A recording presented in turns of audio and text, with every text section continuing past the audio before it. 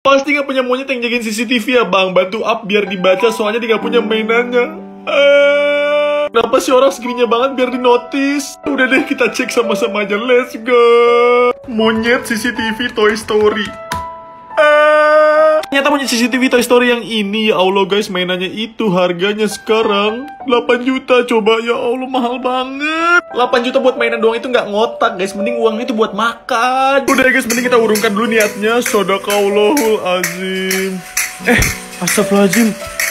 Ya ampun, ada nasi. Nasi siapa ini yang makan berantakan dari tadi?